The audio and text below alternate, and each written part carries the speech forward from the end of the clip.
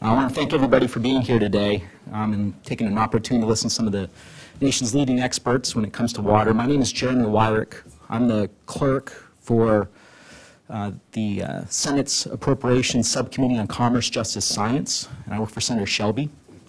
Um, When it comes to flood, droughts, storm surges, um, anything weather-related hazards, that is a big deal for appropriations. Um, Whether we fund the, uh, the, three annual appropriations, weather operations or atmospheric research, or when we have to deal with the uh, devastating disaster responses through periodic supplementals. Um, We, we pretty much have a heavy hand on a regular basis on this. So Senator Shelby, from his perspective, um, sees the dev- devastating impacts water can have, but also the potential we have, whether it's the sudden, sudden incidences, but sort of the long-term effects that we have to deal with when it comes to drought. So really appreciate everybody coming on up here today to, to uh, provide your expertise and thoughts on this. Um, Because we have a good group of folks today from uh, academia, government, and private sector.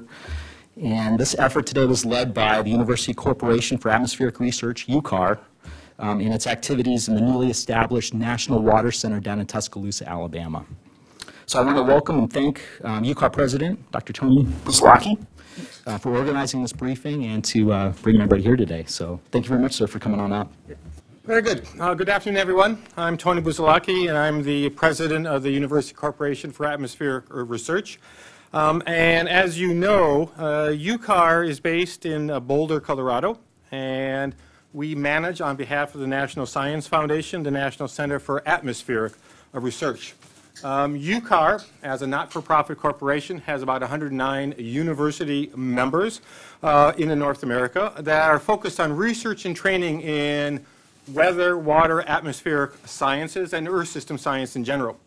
And UCAR supports and extends the capabilities of our academic partners through NCAR and via our uh, UCAR community programs activities.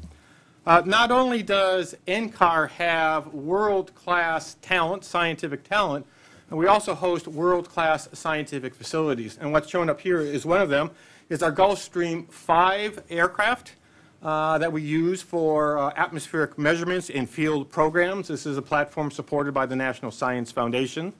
And two weeks ago, when NOAA's Gulfstream 4 aircraft was out of commission, we scrambled our platform in a matter of 10 days, and we're very pleased to be able to support uh, NOAA's hurricane reconnaissance mission at that point in time out over the Pacific Ocean. And it's observations from this particular aircraft that have been shown to increase hurricane track forecasts by about 15 percent.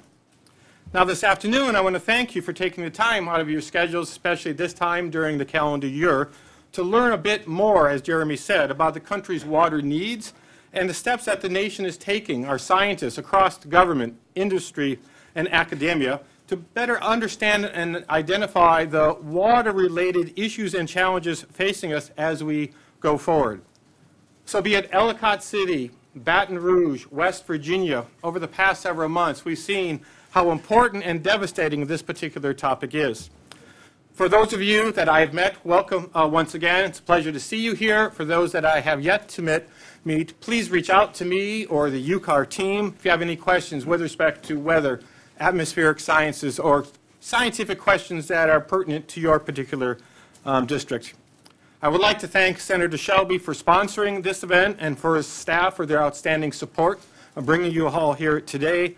Particularly, I'd like to thank Jeremy Weirich for his opening remarks, as well as uh, Cola Rathburn and Bethany Carter for their assistance uh, in supporting this event.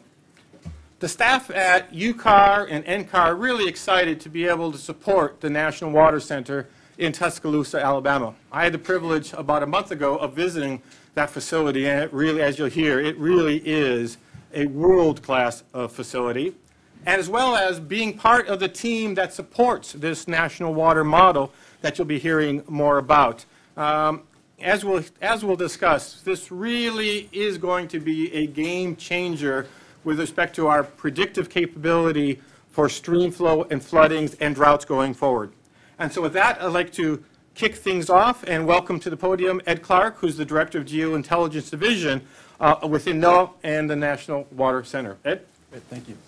Well, thank you, Dr. Busalacchi. I'm really pleased to be here. Um, although I would be honest with you, uh, I am very enamored with the National Water Center in Tuscaloosa. It's hard for me to leave. Um, let me find my slides here.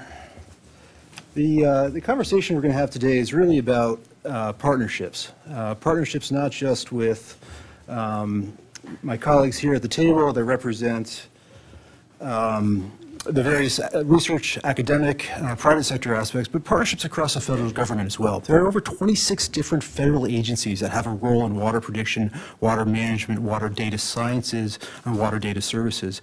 And what we NOAA are, are describing as our transformation of water, water resources, water, water intelligence really taps into all of that, as well as the breadth and spectrum of the academic research um, and, uh, and private sector communities. As I talk about the transformation of NOAA and NOAA's water resources prediction capabilities, we're going to focus on the newly launched National Water Model. This system came online on August 16th of this year and really is a representation of an effort across multiple federal agencies and, of course, with our research partners. A few to uh, highlight here, the U.S. Geological Survey, their Office of Surface Water, the and Core Sciences, the Environmental Protection Agency, of course, our friends and colleagues at uh, University Cons- uh, Corporation for Atmospheric Research, and the National Center for Atmospheric uh, Research. And then, uh, not, not to say the least of our partners in the academic community, organized through the uh, Corporation for the Advancement of Hydrologic Sciences. Dr. Richard Hooper will speak to that. And then, of course, my colleagues within NOAA, the National Center for Environmental Prediction. All of these folks have come together to launch this national water model to create a national framework for uh, a new era of water and water resources information. I don't think I need to tell this group why water, is so, water, water information is so important. We face a multitude of threats in this country, and it is growing exponentially by the year. This is compounded by population growth and economic development that are stressing water supplies and, and increasing the vulnerability to those supplies. We're seeing a change in climate and climate signals increasing, increasingly impacting water availability, quality, and increasing the uncertainty in those precious natural resources. We have an aging infrastructure. U.S. Uh, American Society of Civil Engineers uh, rates infrastructure every year, and the infrastructure for water and water delivery uh, services ranges from a D to a C minus, a growing threat and one that, which is informed and influenced by a better set of environmental intelligence.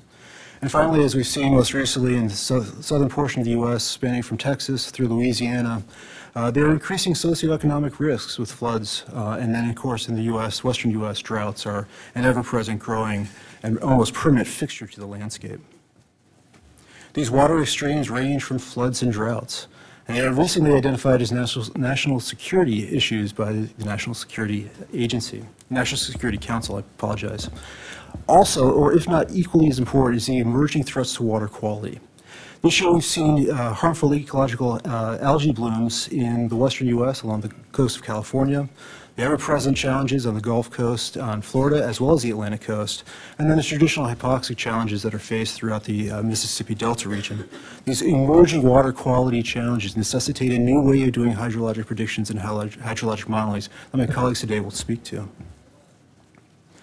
We are also facing external drivers to evolving and transforming, transforming NOAA and the National Weather Service's hydrologic services. In 2012, the National Academies of Science released a report, Weather Services of the Nation Becoming Second to None.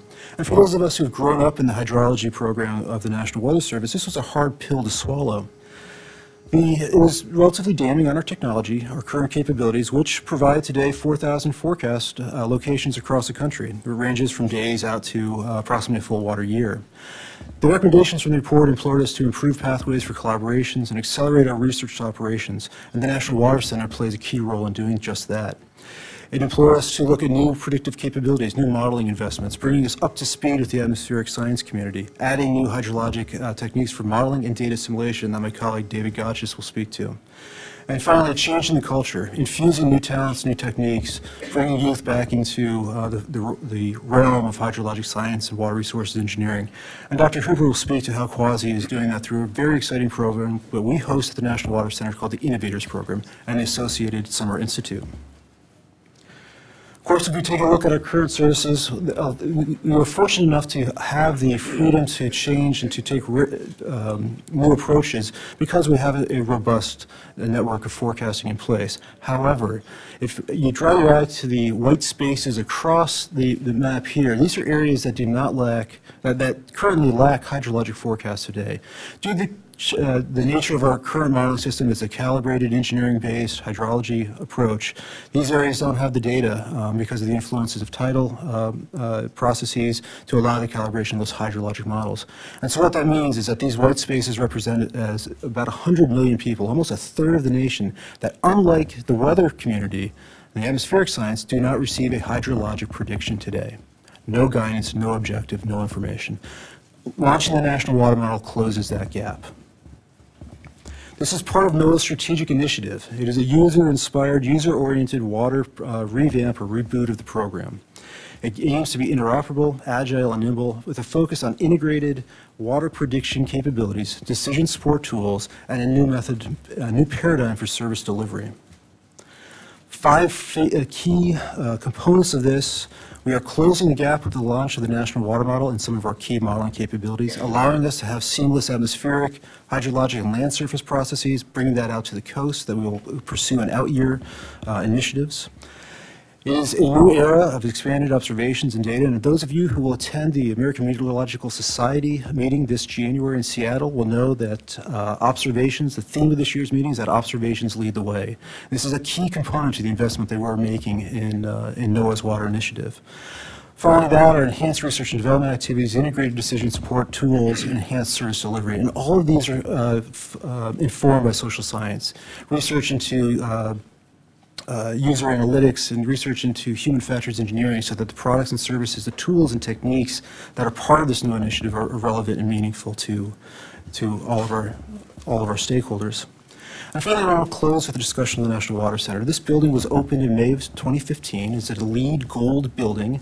Um, It's approximately 60,000 square feet, located smack dab in the middle of the campus of the University of Alabama. Literally, we have students walking through the building trying to get to their classes, which is interesting.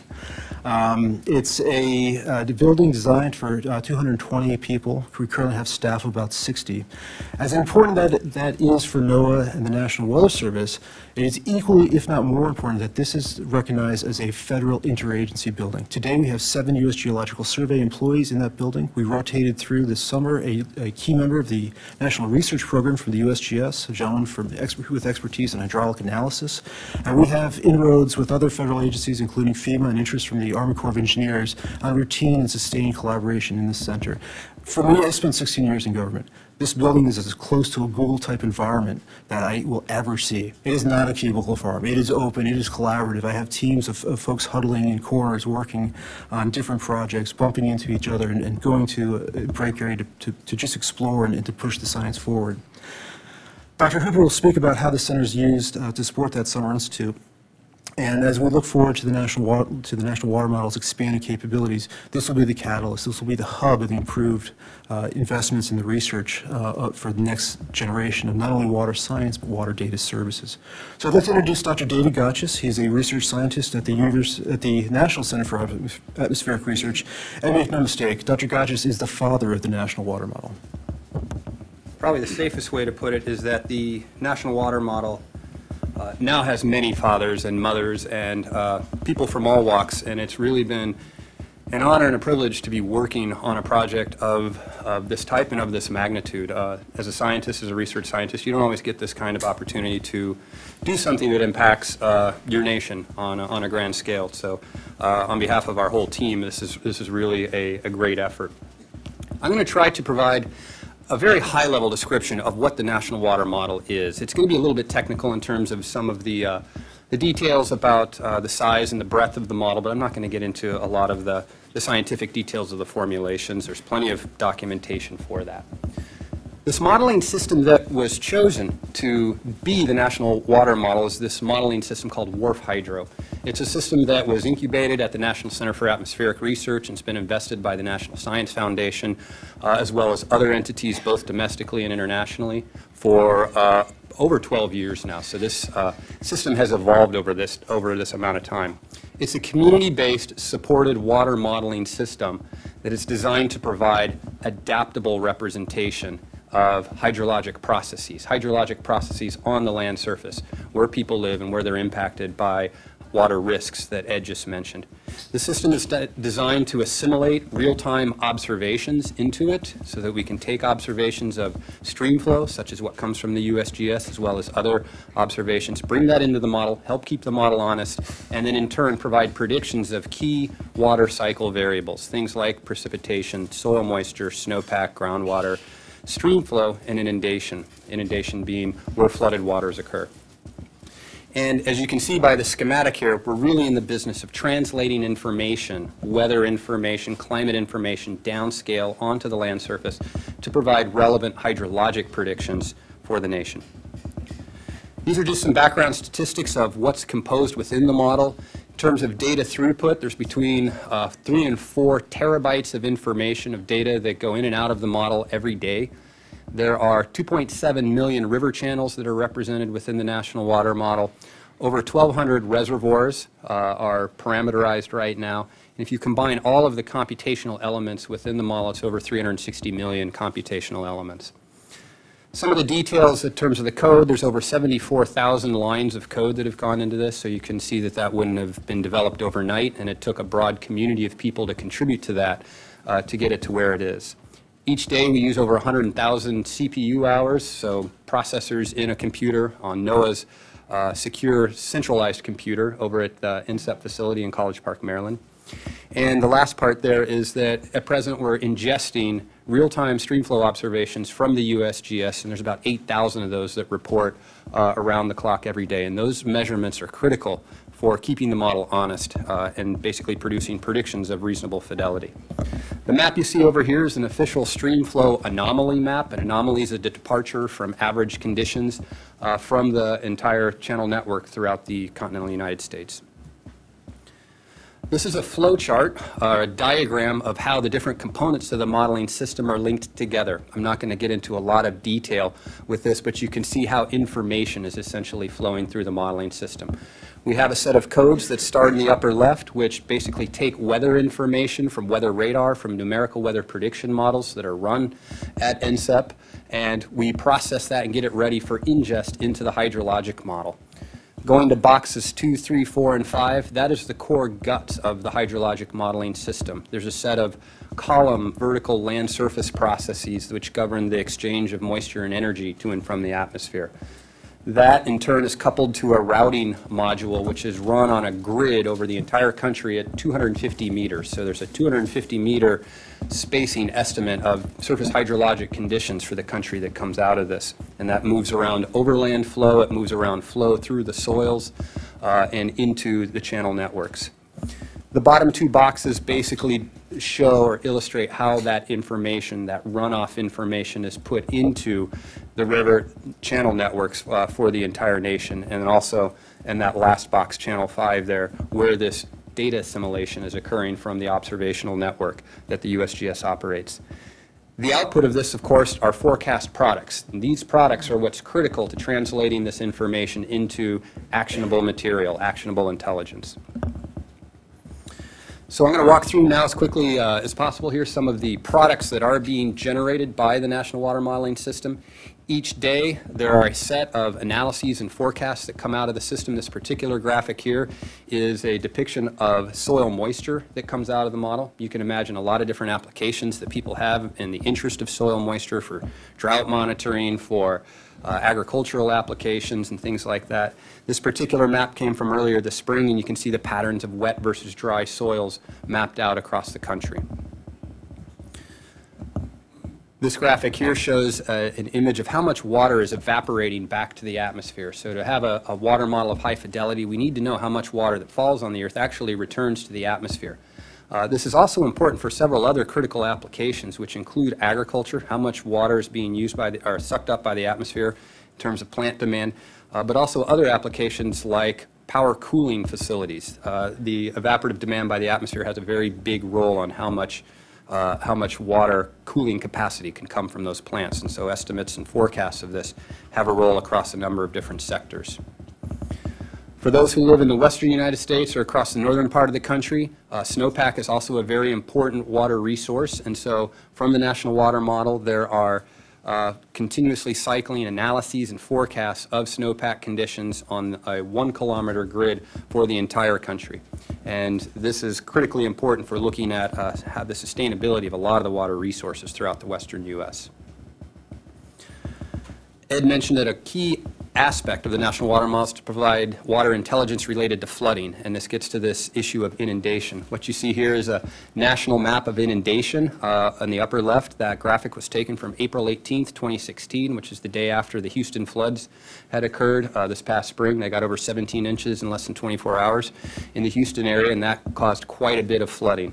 Zooming in to this lower right-hand panel, you can see where these darker colors represent the depth of inundation, uh, both in the greater Houston area, but then extending up to the northwest through the river systems that were feeding into that area. And this is basically getting at trying to provide actionable information at those, scale, at those scales. Similarly, there is an estimate of the depth to soil saturation. We don't have a complete groundwater model in the National Water Model yet. That is a core development activity that will be undertaken by the interagency group that Ed mentioned. But we do have estimates of where our soils are being saturated, and that, of course, is very important for things like transportation, trafficability, agriculture, and the potential risk of future flood events. So putting everything together, uh, we come up with this national map. This was produced by Ed's group at the National Water Center. This is output from the National Water Model. You're looking at an animation of stream flow over about a two and a half month period on all 2.7 million river reaches from the country. This is the first time, uh, for the U.S. at least, that a product like this has been available. And you can see a lot of features happening in this. You can see weather systems moving across the country, generating precip, which creates stream flow.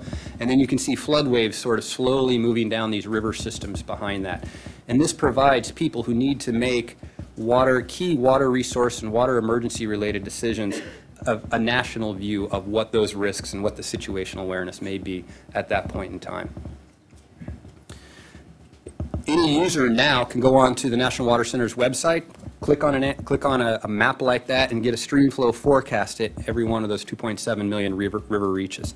This is uh, a, several different kinds of forecasts that are produced. I won't go into the details of these, but suffice it to say, if you have a river that you're going to go boating on, you're going to go fishing on, that you know is prone to flooding, you can click on that river reach and get an analysis and a forecast on that river reach right now. This is a little case study that we did just to demonstrate uh, this particular aspect. This is an animation similar to what we just saw, but during the Hurricane Joaquin floods in the Carolinas of last year. There you see the main event happened, and what is interesting to look at is not only do we have a large number of channels responding to that heavy flood event, you get a sense of how long that event took to unwind, how long those flooded waters took to basically recede, and how much uh, impact that could have had in that region for uh, response activities. So, starting to wrap up now. This is really what we're talking about in terms of this transformation of service. This is a couple of maps from Texas. What you see on the left-hand side over there is a map of Texas, uh, most of central and southern Texas, and those are the existing forecast points for which forecasts are currently made, and they're, they're done very well. What's going on right now with the new national water model is you have this other depiction, this more spatially continuous depiction, which gives forecasters an additional tool. It's an additional set of guidance on where the hydrologic risks are going to be, how long they're going to last, and how severe they might be. Where are things headed? Our top priority in terms of future model development right now is really in advancing the skill and the fidelity of the model to improve water predictions. And one of the biggest ways we can do that is by improving the representation of human activities in the nation's water systems. So this includes the representation of water management and reservoirs and river systems, but it also includes other imprints of humans such as landscape change due to agriculture, urbanization, and then also uh, the relative impacts of a changing climate. To do all this, it's going to take more than one agency, more than one research group. Like I said, many fathers, mothers, aunts, and uncles are going to be involved in this. And we're going to move from building a model to building a community, a water prediction and a water intelligence community. And this happens through the sharing of perspectives and resources. It happens by engaging not only scientists, but pr- practitioners and decision makers at every step in the way to make sure nothing's left on the floor, no knowledge is left on the floor, no data is left on the floor, and no risk is unaddressed. To do that, we'll need to build a better observation network, and that's going to take a multidisciplinary team of people to figure out what that's going to look like. And lastly, we need this, this basic team, this large team to revolutionize public access to this kinds of water intelligence, and that's where the key partnerships with the academic community and the private sector are going to come into play. And with that, I'm going to hand it over to uh, Dr. Rick Hooper of CUAHSI to talk about some of these academic engagement activities. Thank you. Uh, my name is Rick Hooper. I'm the President and Executive Director of CUAHSI. That's the University Consortium for Hydrologic Sciences. Just as Dr. Busalacchi talked about, UCAR CUAHSI is another NSF-funded university consortium uh, for the hydrologic sciences. So I'm here today to really talk about how we're using the National Water Model, in fact, how it holds the potential for really transforming the way we do our hydrologic research and how we interact with the federal agencies. The, the National Hydrologic Model from, or National Water Model from my perspective, is actually this framework for collaboration. It's providing what we call a hydrofabric, uh, uh, this 2.7 million reaches you've been he- hearing about, helps to um, give a com- common reference point for hydrologists to work together with atmospheric scientists. This is an unprecedented kind of uh, bridge that we can then uh, go between the atmospheric sciences, the hydromet community, into the hydrology community.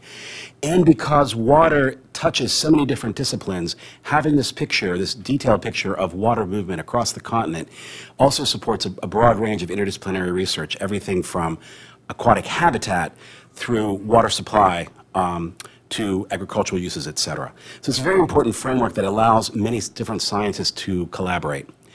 Furthermore, uh, Ed had talked about a research to operations uh, pathway. This is a really important aspect as well because uh, typically hydrologists have worked at relatively small scales. That's where we do our science, where we can collect the more detailed data. Hydrology in Delaware is different from hydrology in Arizona, and it allows, this National Water Model framework allows us to explore those differences of what are the, what are the dominant processes in these different areas, and we can talk about regionally specific hydrologic mechanisms. But then, very importantly, it's something that the Weather Service can evaluate for inclusion into the National Water Model, how they want to deal with that. And this becomes, therefore, a test bed for different process representations that the research community can use and the Weather Service can harvest. Um, I think another important thing for me from the hydrologic side is it provided a different view of hydrology where we see the river continuum. That, that uh, animation that, that Dave showed uh, shows this continuity, if you will, from the, the sky to the sea, right? That, that we have this plumbing. Um, that we see across the continent and have this more integrated view. And that's quite revolutionary. So it's really a different way of thinking about things that has this, this high resolution capability that we can do with the kind of computing power we have today. Moreover, this provides a, a detailed um, prediction uh, of the transport layer of surface water moving across the continent for a whole range of, of, of uses. Uh, Ed had also mentioned about the summer institutes. We, uh, the National Weather Service, has funded CUAHSI to help organize uh, summer institutes in 2015 and 2016, which were intensive seven-week, uh, um, yeah, institutes down at uh, the National Water Center in Tuscaloosa.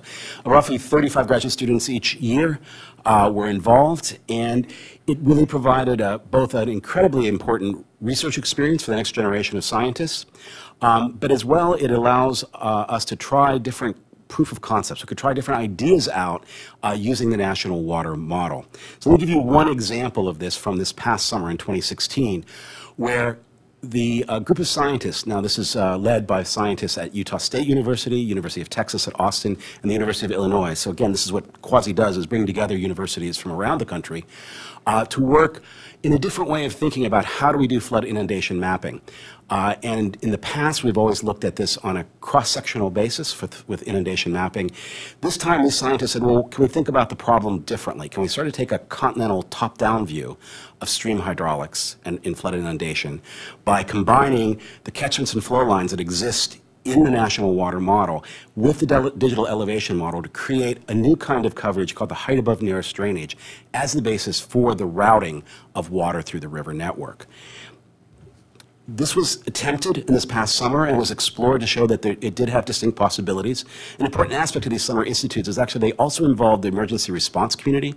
So we were working and we had the students talking with the first responders about what the kind of information they needed. And so one of the things we did was a, a, a sample down in Alabama of this inundation mapping, and it was very important to have the firemen sitting there saying, "Oh, yeah, yeah, you got that right. This part of the this part really does flood, and you, that looks this looks about right." So it passed an initial sort of sniff test. If you look at the number of mapped reaches now using the old flood mapping way, it's a very it's a relatively small number, about 130. Um, whereas this would then be a comprehensive mapping of the entire continent.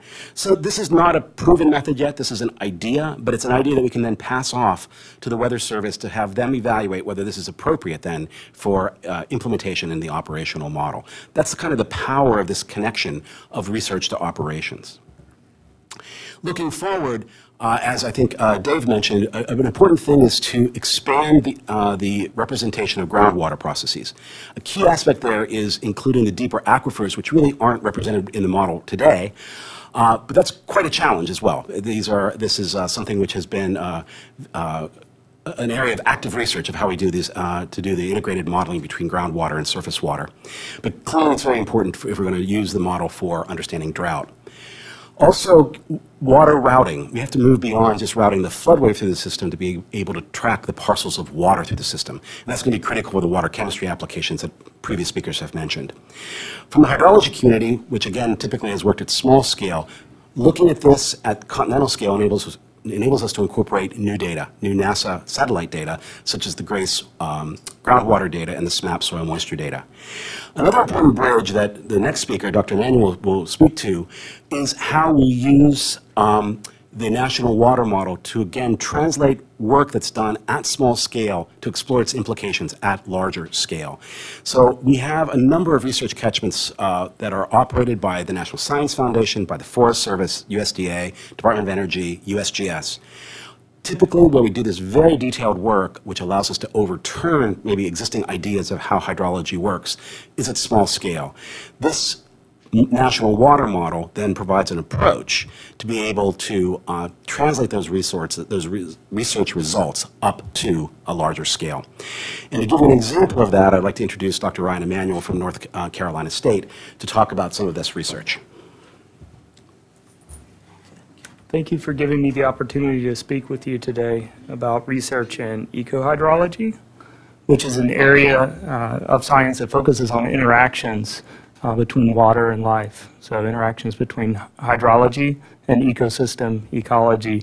This type of work that's conducted at research institutions across uh, the U.S. and the world is important because it uncovers insight and process details about environmental processes that can then feed into models uh, like the, uh, the, the modeling work discussed here.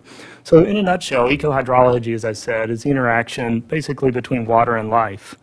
We all understand that water influences ecological processes and patterns. So whether we're talking about forest health, crop productivity, uh, soil quality, or other ecological phenomena, water is a critical part of this. So ecohydrology dives a little deeper and looks at things like the intensity and frequency of precipitation and how they drive ecological patterns and processes. Similarly, it looks at the lateral redistribution of water in the soils and how does that, uh, how does that influence patterns that we see on the landscape.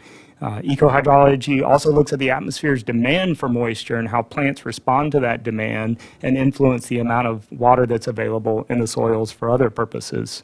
So along these lines, ecosystems also influence water quantity and quality. Trees remove water from the soil, send it back to the atmosphere. That has a distinct imprint on the amount of water that's left over for humans and natural ecosystems downstream.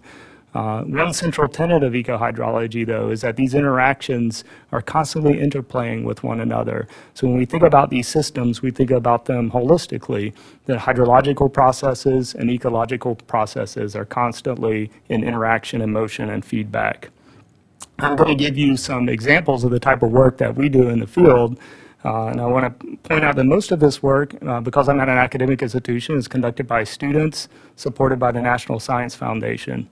So Tenderfoot Creek Experimental Forest is a field site that I'm going to share with you today. This is in central Montana, uh, characteristic of much of the northern Rocky Mountains. Uh, lodgepole pine forest, draped in snow several months of the year.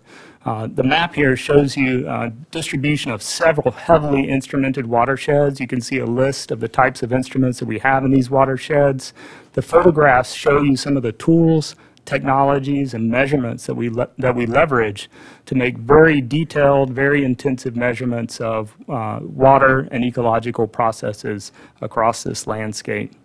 So the first example that I'm going to share with you has to do with water availability and carbon cycling in this landscape.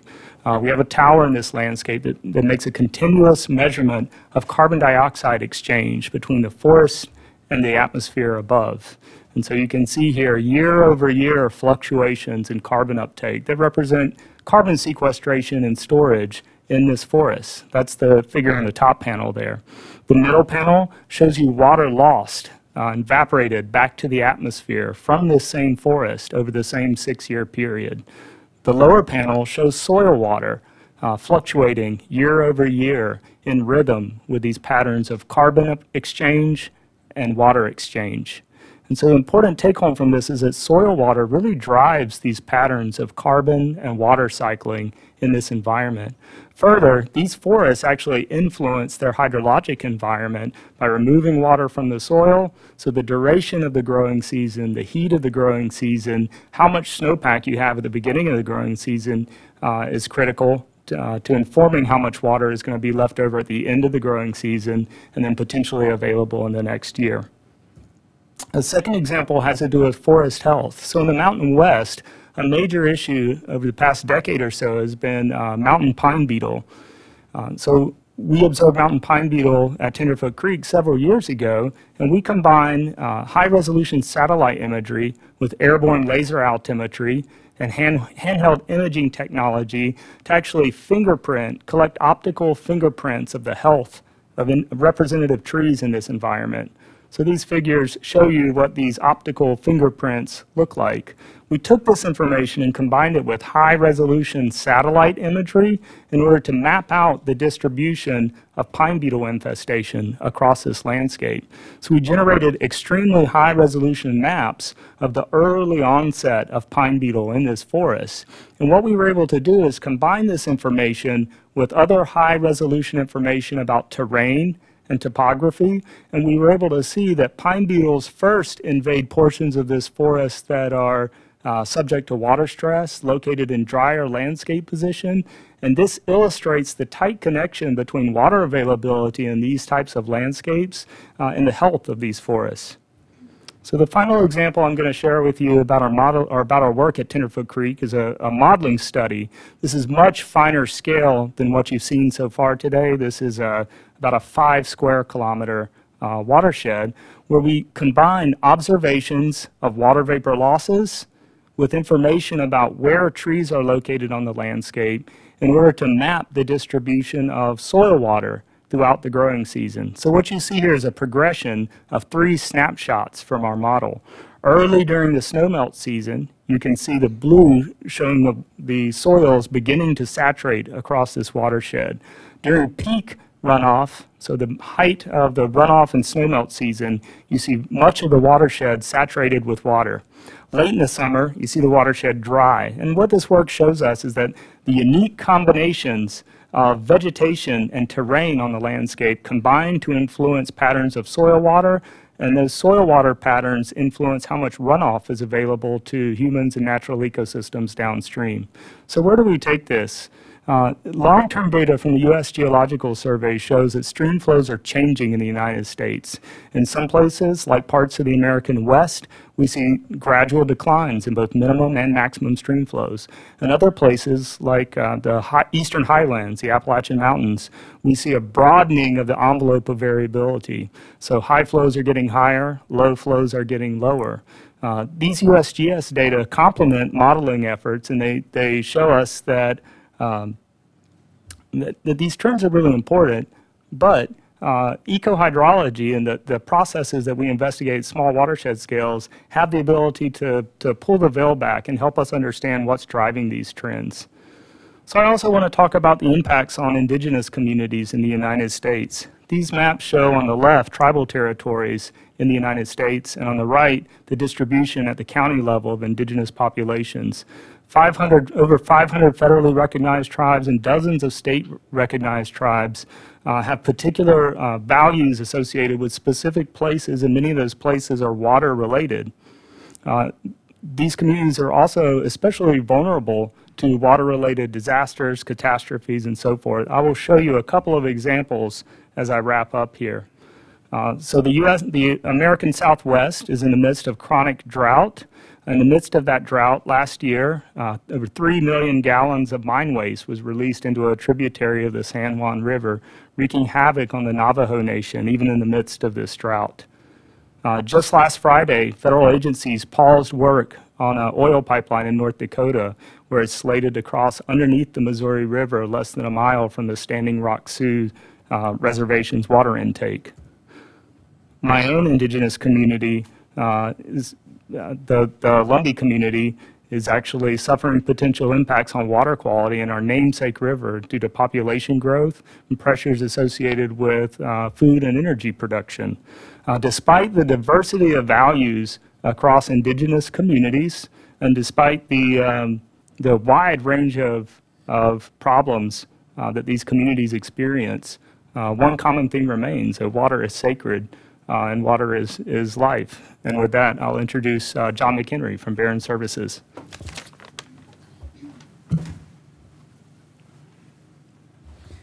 Uh, Thank you very much, Ryan. We're uh, very pleased to be here. Um, I want to thank, thank uh, Senator Shelby for making this possible, and uh, the- the the panelists that have come before me for giving you a wonderful overview of, uh, of the National Wa- Water Model. And um, uh, I am here uh, representing the private sector. Um, Baron Services is a, um, a company that was founded in the late 1980s by Bob Baron as a result of a tornado that came through Huntsville, Alabama. And so we couldn't be uh, more proud to have the National Water Center uh, in our, in our great state on the campus uh, uh, down in Tuscaloosa. Uh, We, we partner with industry, government, and the research community, and by partnerships, uh, I mean things like uh, federal contracts, uh, business-to-business uh, sale, uh, sales of products and services, in particular decision support systems, um, and um, with the academic research community such as NCAR, uh, in, de- in developing uh, and deploying operational modeling systems uh, uh, internationally. Um, for, by example, um, uh, uh, under contract to, to NOAA, uh, we help develop and then deploy uh, new radar technology, weather radar technology that has just come online in the last three years, upgrading from single polarimetric to dual polarimetric uh, radars, giving our nation uh, a, a much uh, better sense of, of the information that you can derive from radar uh, for weather, weather uh, kinds of situations.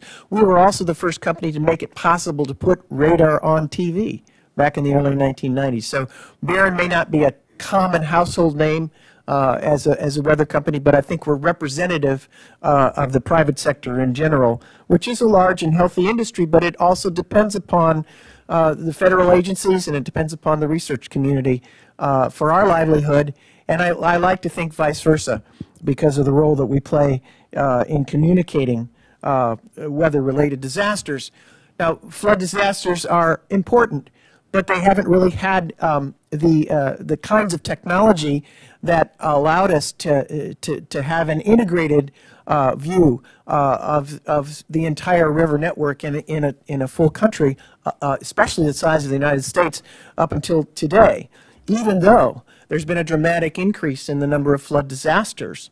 And because flood-related disasters top the list as the most frequent, our company is deeply committed. Uh, One of our earlier, our, our our tagline now is critical weather intelligence, but prior to that, it was, and, and this, it, it includes the, the prior tagline, which is technology and people committed to saving lives.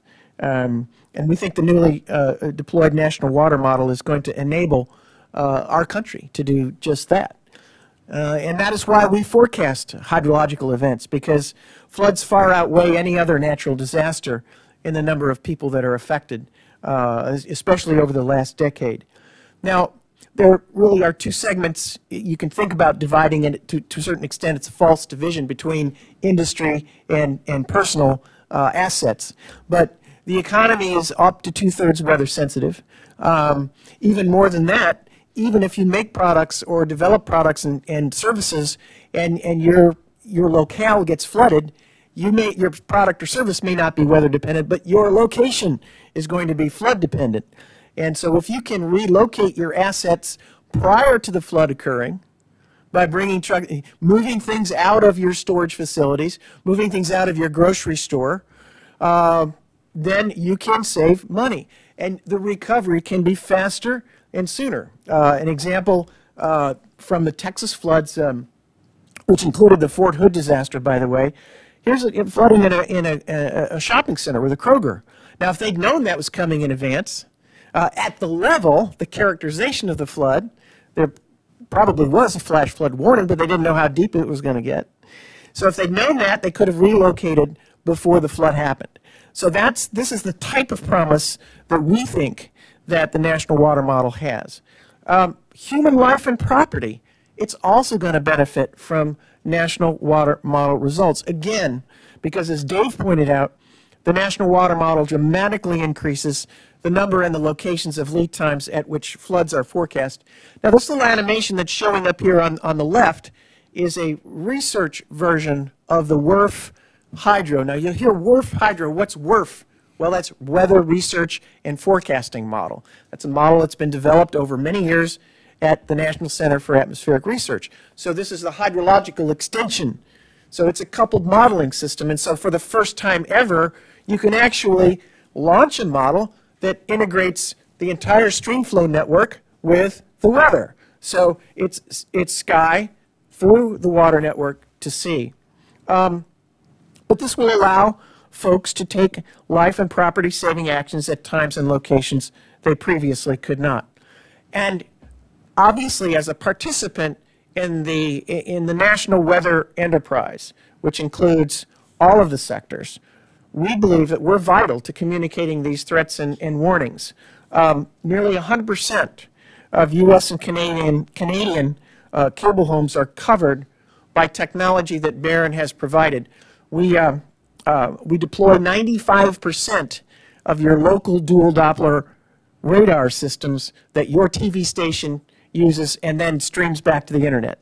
So that's a whole lot of technology that we deploy. Now we haven't had we and and you can see it at the radar scale. You can see those storms coming, but you can't. You have not until now been able to see the hydrology at the radar scale, where the streams are are, at that one kilometer scale, at that 250 meter scale, where your little local neighborhood stream may overflow. My wife and I ran into a situation in our neighborhood recently in Raleigh we had four or five inches of rain in two hours. Well, our local little stream flowing through our neighborhood, which is usually only about a half a foot deep, well, we had a, about a foot of water and we had to turn around.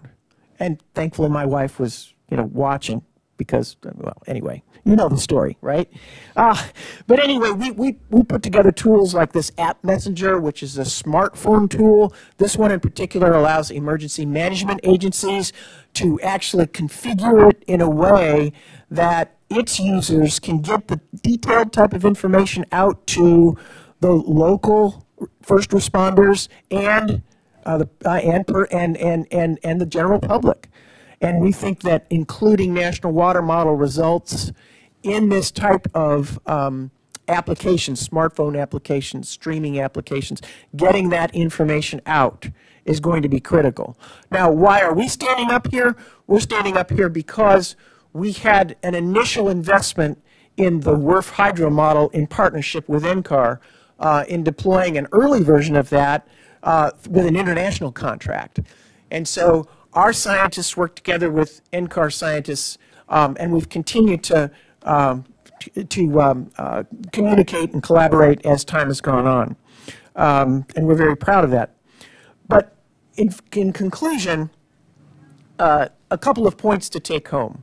So the National Water Model is going to really dramatically increase the geographic coverage. You saw that in Ed's slides. 100 million people who are not covered will be covered at this point in time. The site-specific location, your neighborhood, those little streams that flow through, maybe the larger rivers, like the Ellicott City, that typically floods but not that much, those flood levels will be able to be better forecasted with this model. Uh, it ushers, it really is a paradigm shift. It ushers in a new era in the availability of flood and flash flood forecasting. And both industry, through various creative methods like asset relocation, the general public, both will benefit through a reduction in, in lives lost and in the cost to replace uh, property. And then finally, partnering with government agencies and the research community, companies like Baron will be essential in timely communicating, timely communication. You'll get those forecasts most often over your cell phone or TV or streaming internet. Um, those results will become available in an integrated, uh, seamless fashion across the entire country. So I want to thank my esteemed panelists for the invitation to be here. Thanks, Senator Shelby, and thank you for coming.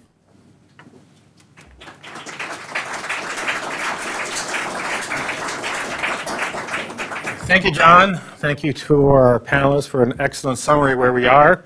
Look at this, a panel of scientists that finished early, all right? And so that's illustrative of the, the rigor and the discipline being brought to this problem.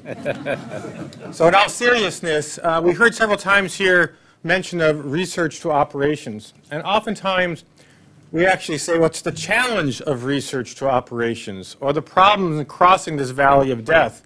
And I think what you've heard here today is an excellent example of how this can work and how it should work in other areas.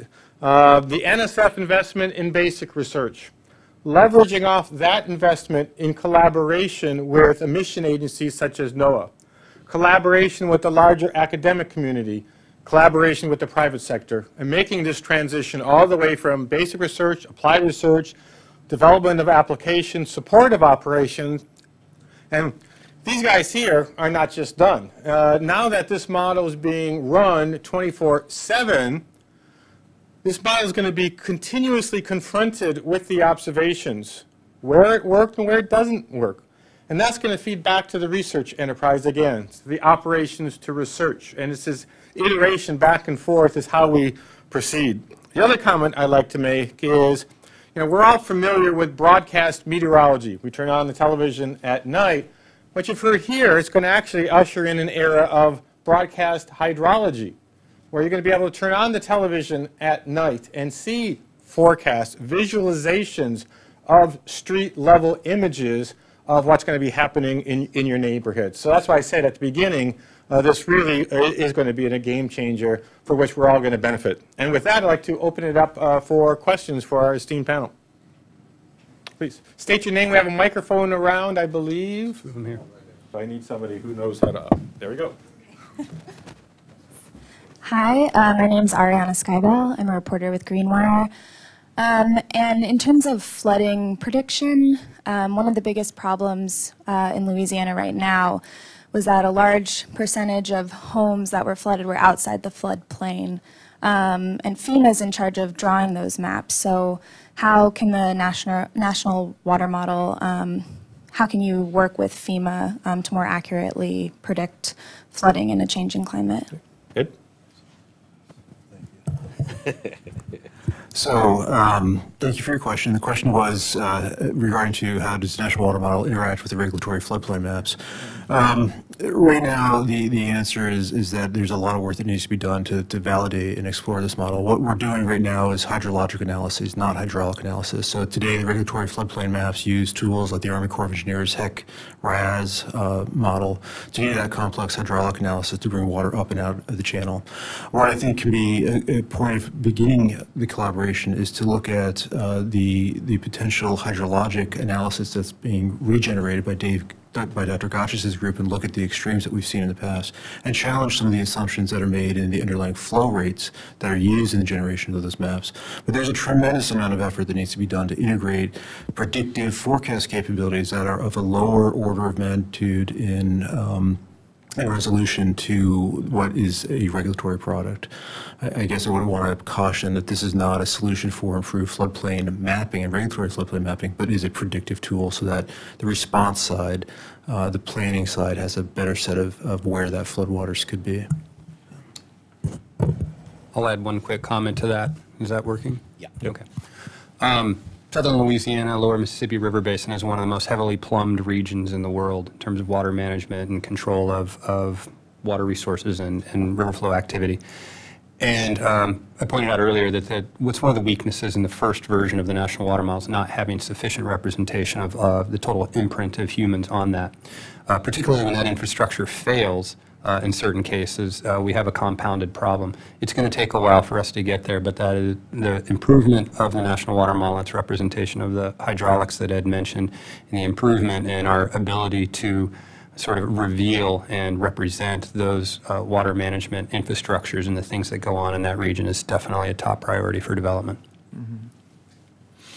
Uh, I'll add one other thing too, is that the complexity in, in an integrated model like this one in terms of managed water um, really has to do with also interacting with reservoir managers because they are making real-time decisions about how to manage their uh, the, the, the levels of water behind their dams uh, in a way that they think is going to be optimal not only for the you know the the the, dam, the, the dam design itself, but also for downstream populations that may be exposed.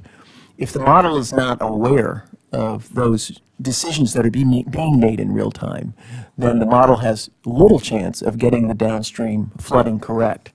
So it's the interagency cooperation and collaboration that really makes this much more important uh, and, and, and give it the potential that it has to be able to, to do what we think it will be able to do in the future. Just one other point, just conceptually, maybe Dr. Mason can qualify anything I say here, but recognize that flood maps are uh, an issue of risk, right? That's the point. We're talking about just direct uh, prediction here. So the FEMA flood mapping process has a statistical component. And although we could be testing some of those ideas about statistics based upon repeated applications of this model, recognize there is a difference here of, of how those flood maps are drawn. Mike? Okay, yeah, this is Michael Ek, National Weather Service. Um, Weather, water, climate is inherently global, and so I'm interested in how we can build uh, what we learned from the uh, water model into a more comprehensive, or include that more broadly in, uh, in our full um, Earth system models. So let me just actually play on that, not just how, but what will be needed to do that, to expand globally. Yeah, I'll start with that. Uh, Thank you, Mike, for the question. It was basically how do we expand what we're doing here over the continental United States and basically over a large chunk of North America now, and do that as a global service. I think there are a number of fundamental things that do need to happen in that, and data set development is clearly one of the top things uh, on top of that list. And it's going to require a level of international cooperation and sharing of water information that is heretofore not really happened. Um, water is a sensitive uh, data in many countries around the world. The U.S. is quite liberal with their water data compared to most countries. Um, and so some of those barriers will have to be overcome. But we don't need to wait until those barriers are overcome. Uh, with NASA's global sort of satellite missions and what they're planning to do without going into details with what other nations around the world are doing in terms of building and sharing water information. I think we can get a good jump on this problem. And as you're suggesting, trying to tie the complete global water cycle together, freshwater discharges to the oceans, global land evaporation back to the atmosphere so that hopefully we can ultimately create a better weather forecast, which turns into a better water forecast and the cycle goes on and on. Thanks, uh, Nathan, with the US Water Partnership. And this is really exciting. It's tremendous work. Uh, so congratulations. And my question is, is more on the um, the kind of the next steps in the communication of um, of the model. And I think you've you've touched on it in certain ways through uh, universities and collaborations and networks, um, and reaching out to Native American communities um, and getting the feedback from first responders.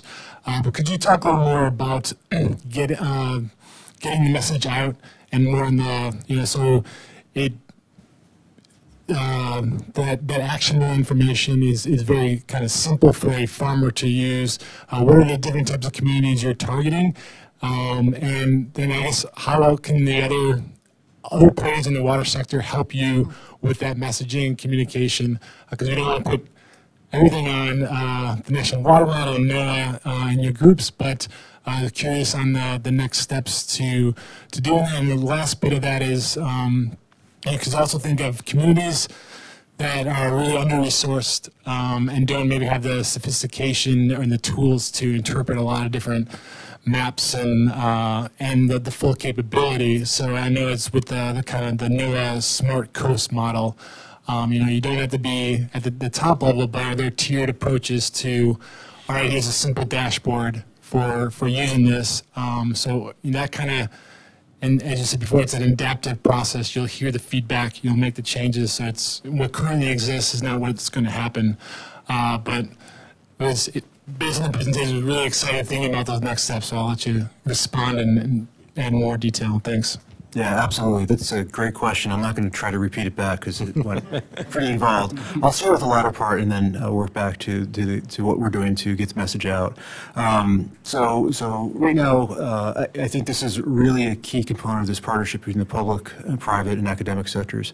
We're engaging with academia, we're engaging with social scientists in the academic sectors, but I think there's a tremendous value to be had by the private firms that can take output from the National Water Model and custom tailor that to individual communities, to individual sectors. NOAA has a relatively broad mission. We protect lives and property. Um, But some of these, new information data sets uh, have implications for sectors that are profoundly served or better served by the private sector. And that's why working through groups like Baron Services, through our relationships with folks like Riverside uh, Technologies, there are ways to that, this information that we can work with them to deliver better services to those individual communities and allow them to answer their specific decision support applications. Now, in terms of what NOAA is doing to follow up on this, this notion of the NOAA Water Initiative, as you all know, this summer, uh, we held two regional list, water listening conversations in Tuscaloosa, Alabama, where the National Water Center is located, and also in California. We heard two profoundly different sets of requirements and information sets. The more humid regions of the country is focused on short-term floods, more gauges, more data, and in the western U.S., it's all about uh, drought, uh, water supply forecasting. That was uh, then complemented by a session here in Washington, D.C., um, where uh, NOAA and other federal agencies, again, sat down, listened to our stakeholders, and laid out a series of what they told us were their priorities. Going forward, uh, the National Water Center does have a social intelligence division, a complement to my geointelligence division. And uh, my colleague Peter Colohan is just now embarking on a series of activities to go back to some of the communities that we've, we've worked with in the past, to have these types of uh, conversations, to prototype and to and, and, uh, take on these pilot projects, regional pilot studies uh, in areas of interest. So I don't know exactly how that's going to look, what that's going to look like, but these will be